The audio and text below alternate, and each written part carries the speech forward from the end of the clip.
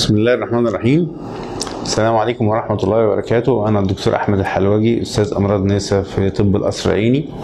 أه برحب بيكم وبتمنى ليكم ولمصر كلها وجميع البلدان ربنا يعدي جائحة كورونا دي على خير. وطبعا أنا أستاذ أمراض نساء فأنا الكلام موجه رئيسيا بقى للحوامل. إحنا طبعا شايفين الأيام دي طبعا زيادة في معدلات الإصابة. وإن شاء الله دي يعني شدة وتزول وبعديها إن شاء الله إن مع العسر يسرا. فعايز أول حاجة إن الناس ما تقلقش قوي بس عايزين التزام بكل تعليمات النظافة والصحة العامة. طبعا إحنا عارفين لبس الكمامة دلوقتي بقى حاجة ضرورية جدا خصوصا في التجمعات أو وقت الاحتكاك بالآخرين. وإحنا خارجين وإحنا راكبين ميكروباص وإحنا يعني رايحين البنك أي حاجة فيها تجمعات بقت إلزام يعني.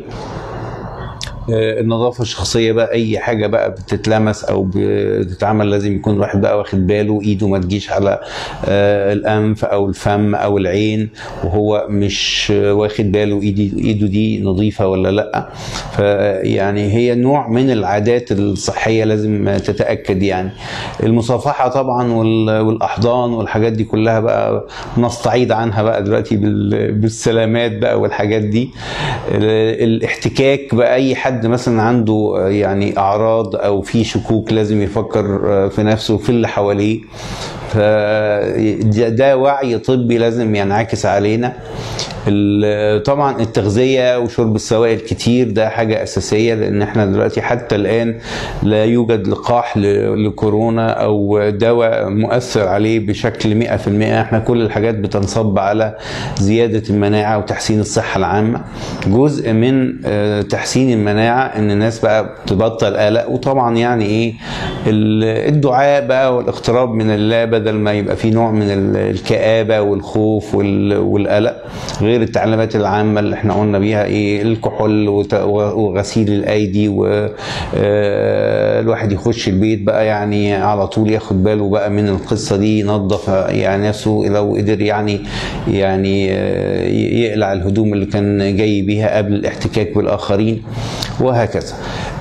في أسئلة كتير بتتوافر دلوقتي عن المناعة والتغذية والحاجات دي. طبعا في قواعد مهمة دلوقتي طبعا اللي هي النوم كويس بقى بالليل الأكل يكون صحي ومتوزع كويس في أطعمة وأدوية معينة بتزود المناعة شوية.